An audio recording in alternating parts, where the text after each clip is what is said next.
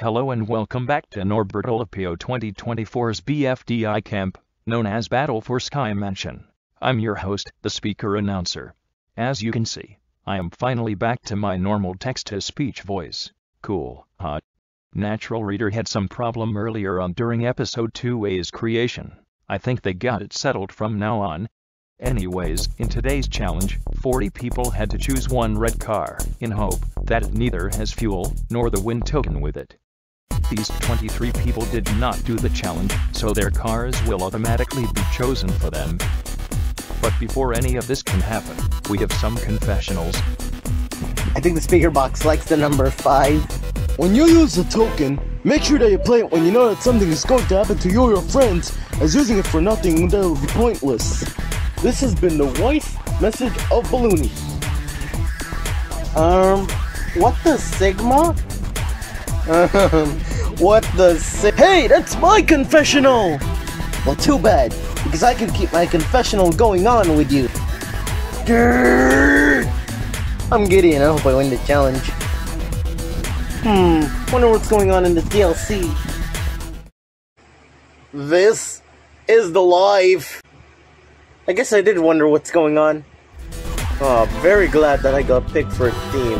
However, I'm not sure if I could keep the ball rolling.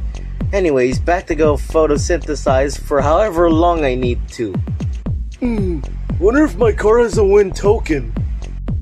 So with confessionals out of the way, it's time for the moment of truth. Contestants, start your engines.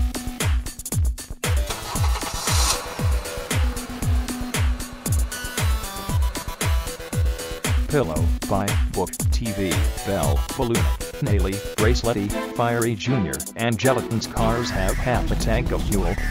That's one point for Spiked Roses, one and a half point for Mansion Champs, one point for five star superstars, and one and a half point for Exploding Fireworks. That means Evil Leafy, Ruby, Remote, Non-Existy, Clock, Dora, David Grass, Donut, and Barf Bags cars have a full tank of fuel. That's another 2 points for Spiked Roses and Mansion Champs, and 3 points for 5-star Superstars and Exploding Fireworks. So, with a score of 4.5 points, Exploding Fireworks wins the challenge, and Non-Existy wins the win token. 5-star Superstars and Mansion Champs are in second and third place and get immunity, meaning Spiked Roses is up for elimination. On top of that, the members from the losing team that chose the fueled cars are guaranteed immune. Oh, and Cake. I forgot to show your team entry since the first episode, so here is his entry. He suggested the name Cake at Stake. So voters, non-competitors, choose one member from Spiked Roses to be eliminated. To keep the voting a secret, however, votes can only be accepted through straw poll. Voting ends September 19th at 6 p.m. Goodbye and good luck.